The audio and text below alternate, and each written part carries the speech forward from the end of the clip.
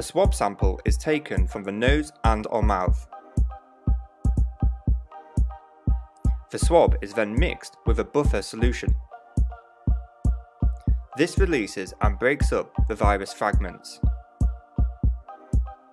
Some of the solution is then dropped onto the lateral flow device. The solution containing the virus fragments is drawn down onto an absorbent strip. The virus fragments then move along the strip and they reach a set of labelled antibodies.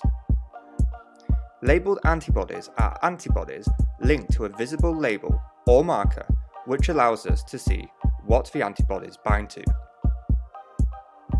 The labelled antibodies recognise specific parts of the viral fragments and bind strongly to them.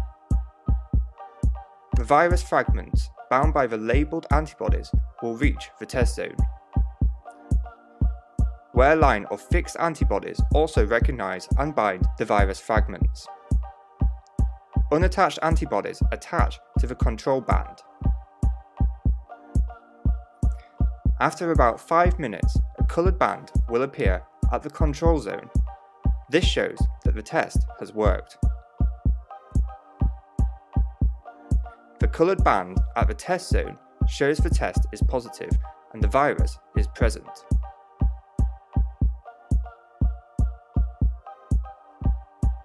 The results will be ready in 10 to 30 minutes.